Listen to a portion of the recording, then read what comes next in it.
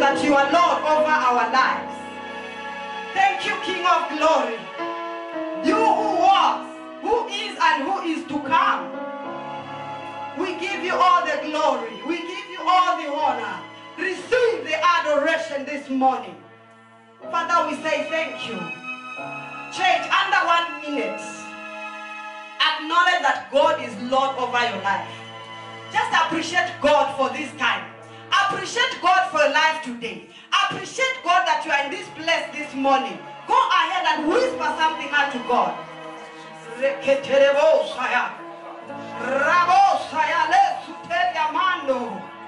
Yeketerebosa. Rabosaya lesuterebosa. You are God. You are God. You are God. Self-existent God.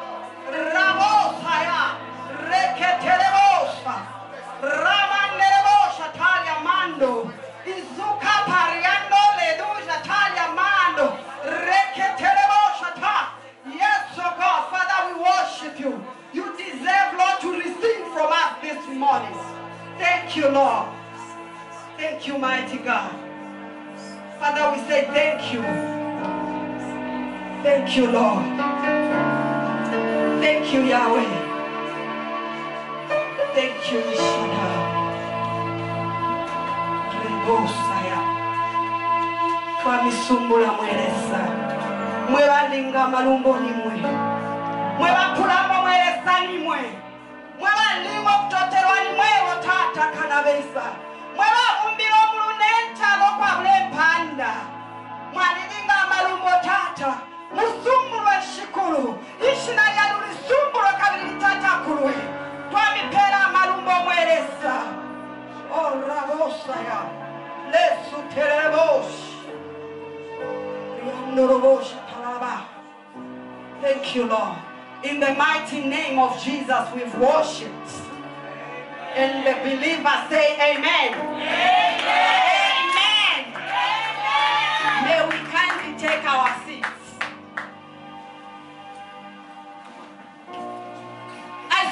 people looked very lost when my brother was telling us, when he was leading the praise, to say, I'm very happy to be here. You don't know what it takes for you to be here. If you think you are here because you woke up on your own, you dress up on your own strength, then I want to advise you it's by His grace. And it's for a reason why you are in this place. God ordained this day before you and I were born. So you must be happy that you are here. You must be happy that you have seen this day. Amen. A big hand to God. Firstly, I humble myself before the heavens. And I'd like to humble myself before my mother in her absentia and Papa here. And I would like to humble myself before you all. Amen. I thank God that we came. Amen. And I thank God that each one of us here will receive that which God has prepared for each one of us in this day. Amen. Are we okay? It's no longer cold. This cold has passed. Nachipua. Na na ipite mpepo. Amen. So in all seasons, praise God. For the weather, we praise God. For the cold, we praise God. He's still God. He doesn't change by seasons. He remains God. Amen. Brother George, I want you to help me with the reading of the scriptures. I'm going to share with you what we know. I'm not going to speak something you've never heard. Amen. I'm going to speak about something you've heard, something you've been hearing. Amen. Amen. Amen.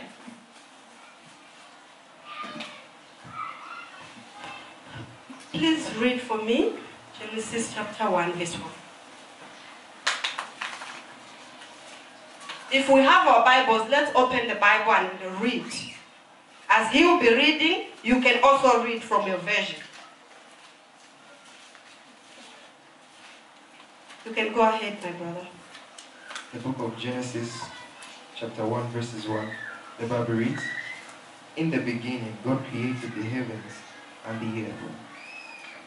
Now the earth was formless and empty.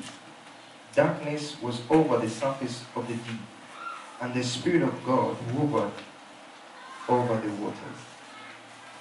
Verses 3 And God said, Let there be light. And there was light.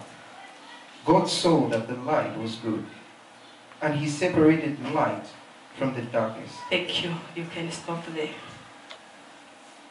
I've entitled my message, He is God. He will remain God. He was God. He is still God. Amen.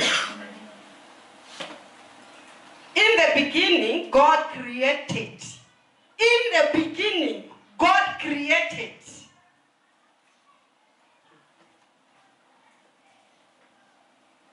So, if we go to, to John, it says, In the beginning, there was the Word. The Word was God. And the Word was with God. But now this one is telling us to say, In the beginning, God created. Amen. In the beginning, God created the heavens and the earth. This is so interesting. Don't worry. You look confused, but you understand what I'm going to talk about. Amen. That God doesn't even live in the heavens. In the beginning, God created the heavens and the earth, meaning that God was already in existence. Where was He? He was already existing, but He created now the heaven and the earth. God does not live in the heavens. Hello? Hello? I know we all know that God lives in heaven. If you go to Isaiah 66, verse 1, he says, Heaven is my throne, and the earth is my footstool. So if I say this chair is where I sit, do I live in this chair? Do I live where I sit? This is a chair where I sit. But before I sit on this chair, where am I? Hallelujah.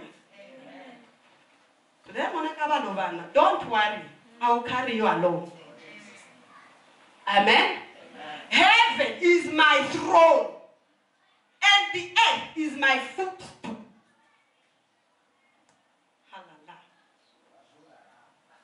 He existed with or without heaven, God was there. With or without all these creations, God was there. So now, where he was, he thought of you and I to say, okay, I want Mary to find somewhere to sit. Let me create the heavens. God did not want the heavens without you and I. Understand. He created the heavens for you and I, not for him. The heavens are too small to contain our God. The heavens are too small, too, too small to contain him. He's so big. He doesn't live in the heavens. He was there before he created the heavens. So meaning that to us, we see that God lives in heaven, but the heavens are too small to contain our God. Even the earth itself, it's far small to contain our God. Amen. Are we together, Mulungu? This is the Bible. Read it. When you read it, let it lead you just read it for the sake of reading it. When you are reading the Bible, let it lead you to revelations. Let it lead you to unseen things, to hidden things. Oh, yes. To hidden mysteries behind this word. Amen. Amen. This is the beginning now of time. He was there already. But when we say in the beginning God created the heavens and the earth, meaning that that was now the beginning of time. And if I read the same Bible, it says, before time began, you and I were there. Hallelujah. You and I were there before even the heavens were created. If you go in Ephesians, he said, I preordained you before time began. So now you see why I say he created the heaven for you and I. Hallelujah. He doesn't live there. He's too big. Our God is too big. Our God is too big to live in the heavens. The heaven places were made for us and the angels. Amen? Mm, Pastor Mary, now, uh, if you are there that afine ufika, don't worry. His spirit is in this place. And it's available to make you understand what I'm talking about because this is the word of God. Amen. He lived outside the heavens. Then now he thought, okay, Mary is there. Let me now create the heavens where me, I can transfer my presence in your her so that she lives in the heavens. Hallelujah. He did not create the heavens for him, no. He created the heavens for I and you to live in them. Amen? Amen. So everything created both in heaven and on, on earth for man. Everything was created for man. If we go in Colossians, he said, Jesus is the creation. So through him and for him, all things were created. Oh, oh, Amen. God did not leave the heavens to come and save Mary. He's too big. So he transformed now himself into the Son. Because you cannot see God and remain alive. God is too big. So now he decided if I appear to these people physically, they will die. Even the time of Moses, God spoke to Moses. He told him, Tell the Israelites to consecrate themselves. Let them wash their clothes. Let them consecrate themselves. Let them be holy so that I can meet them tomorrow. Now, hear this. Come to the mountain where I will meet you from. Did God uh, the physical? He did not. So he taught them. He taught Moses, when you draw near to the mountain, let them remain at the foot of the mountain. Then I will speak to them. And do you know what used to happen? When they hear an earthquake, when they see a dark cloud, when they hear some thunder, then they say, There is God. And they will pay attention to hear from God. They never saw God. He's too big to come physically to me to say, Oh man, I'll, I'll melt.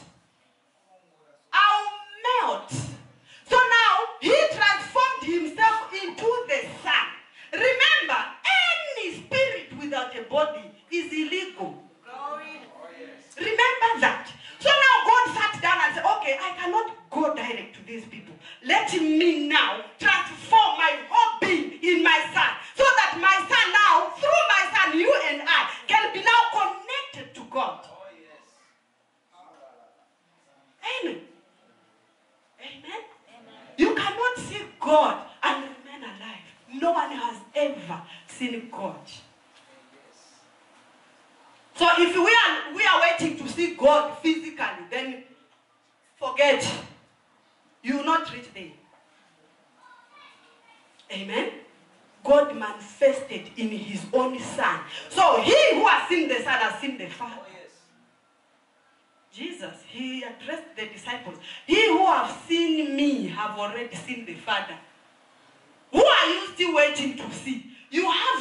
already. You know Christ already. The Father is in the Son. Amen. Today on Friday, nani? Bibi mrefu aese direct vis-a-vis. It is us. It is a man who need the heaven and the earth, not God. He's outside. He's outside the time. You and I were in time. Remember, there are two times Chronos and Kairos time. There's God's time and human time. Amen? So it is I and you who need the heaven and this earth. We are saying, oh, this world is not my home. I'm just passing through. You are passing through, you are going away. yeah, because we, we, we seem to be speaking things unknowingly. This, this world is not our home. We are passing through, going away. We must know where we are going. Never mind. Amen. There is nothing like the pre-Adamic uh, race that would mean that they are in the same class with God. Nothing and nothing. Amen. Nothing and nothing. I'm serious about it. Nothing. We can never be equal with Him. Nothing can make us. So, so okay, I'm God now. You know what? Bring 10 million here. I will do this. No. No. We are not God. We are just vessels. His children, His royal priesthood people, ordained, set apart. Amen. Amen. Rushing. Just now, I'll be concluding because we came late. So if I take my whole time, you will say, "I preach about Kokora." So I, I'm, I'm targeting the time there. Put my, you can read for me. Genesis, the same scripture. Go back to verse 2.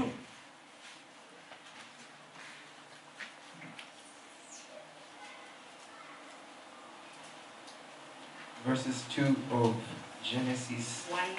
Genesis 1. The Bible reads, And the earth was without form and void, and darkness was upon the face of the deep, and the Spirit of God moved upon the face of the waters. Thank you. Thank you very much. You can quickly go to Ezekiel 28, verse 13. And the earth was without form, and darkness covered the earth. And the Spirit of God moved over the earth. Oh my God. And the Spirit of God brings light. So when now he separated the heavens and the earth, he said, Let there be light. And light came forth. Please read for me Ezekiel. The book of Ezekiel 28, Yes. verses 13. 13. Just 13, yes. Verses 13 reads, Thou hast been in Eden, the garden of God. Every precious stone was thy covering, the sardius, the topaz, and the diamond, the beryl, the onyx, and the jasper, and the sapphire, and the emerald, and the compugo, and gold. The workmanship of thy tabrets of thy pipes was prepared in thee in the day that thou was created. Amen. Amen. Amen. Am I making sense? Yes. 28 verse 13. Mine reads You were in Eden, the garden of God. Every precious stone adorned you. Oh my God. You were in Eden. Do you know the meaning of Eden? You were in Eden. So the day you were born, the day you were created, you were already in the presence. Eden means the presence of God.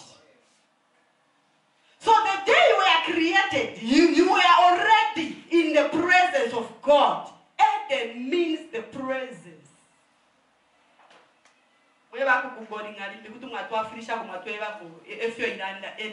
What does eden mean because technology ile yafirisha sana but what i know eden means the presence of god so when he said you were in eden the garden of god means i was already in the presence of god only when sin came through one man, Adam, then we fall short of his glory.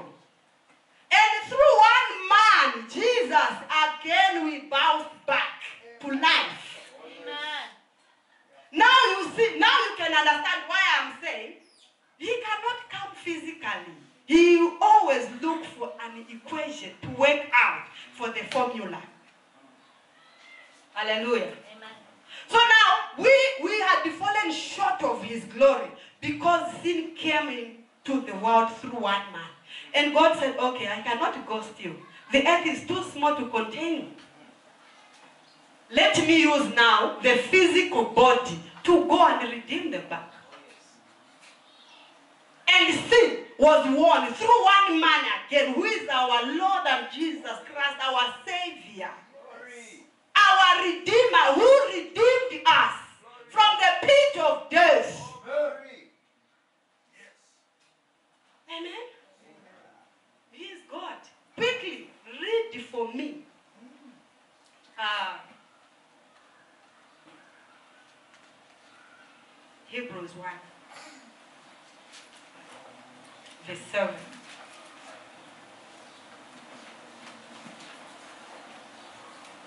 So when now, when uh, Adam sinned, listen, Adam was in, in the presence of God. So Satan was very jealousy. Amen. He was very jealousy of the position Adam was holding. Adam was given the dominion over all the earth, even in heaven. So now Lucifer was very jealous. He wanted to compete with Adam. That's why he brought a the, uh, the, the Lucifer, the, Satan, did not fight with God. Hear me clearly. Satan was jealous with a man, Adam, because he was also created in a certain way. So, because of his envious spirit, he wanted to be like God.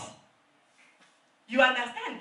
Because already God, when he created a human being, he said, I'm giving you this authority, have dominion. So Adam was given a bouquet. Go, rule over the earth. You have dominion. So number Lucifer, baby. Oh, okay. Okay, I will see. So Satan used the temptation now to trap a man. So that if a man falls now short of the glory then you have a hold on him. But it all failed.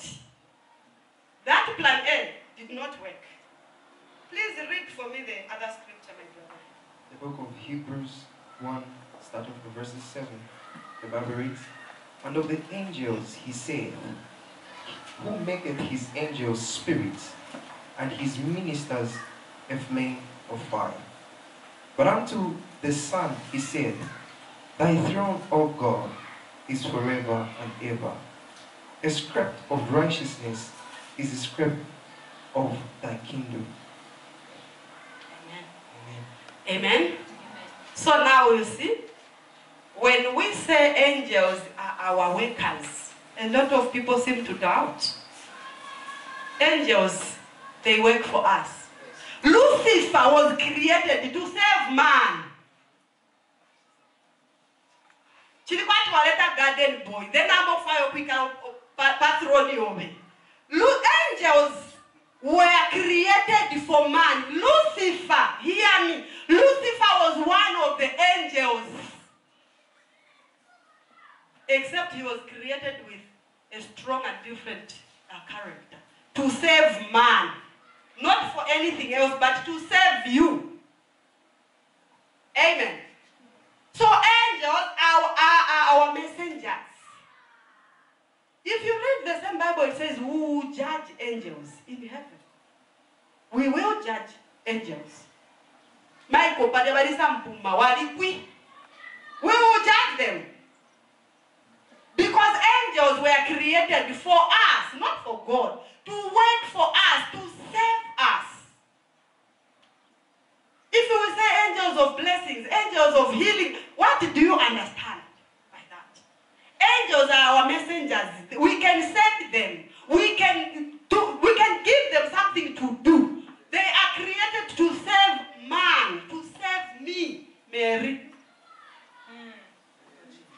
amen amen remember i heard one person saying we we we have no angels we we we are not in that position to command our angels but listen when peter was released from the prison by an angel when he arrived there where they were praying at the house of rhoda when the servant went to the door to answer the knock he said peter is here and everybody said are you out of your mind it must be his angel so if Peter I have an angel.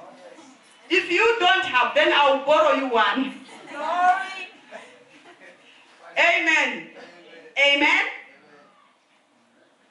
Peter was released by an angel. So an angel was assigned to go and release Peter from the inner cell. Amen. The church were praying, interceding for Peter, and God sent the angel to go and release him. Because if I read the Bible, it says Peter thought he was dreaming, but it was vis-a-vis. Amen. He thought he was dreaming, but it was real, it was happening. Kwati chilelo, tabaki chifile chitika. I'm, my brother, read for me another scripture. First, uh, John 1, verse 18.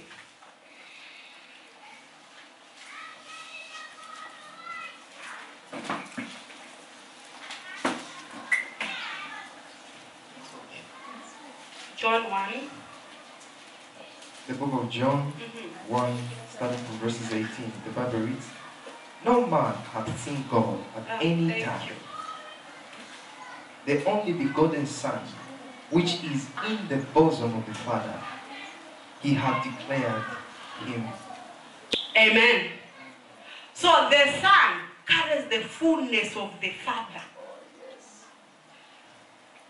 The coming of the Son, the coming of the Son reveals to us the Father. Not okay, uyu mwana wa Isa sono batwalalolera bawishi. The Son carries the fullness of the Father. Amen. Tule mfano. ndeboneka abantu ba kuchinakutalala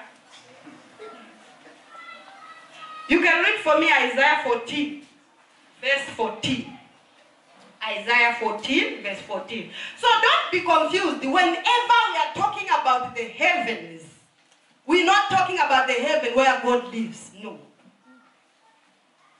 Amen. You can read for me isaiah 14 45 no, 14 14 The book of Isaiah 14, verse 14. The Bible reads, I will ascend above the heights of the clouds. I will be like the Most High. Verses 15. Yet thou shalt be brought down to hell, to the sides of the pit. Just 14. Repeat the 14. I will ascend above the heights of the clouds. Mhm. I will be like the Most High. Now, who was that?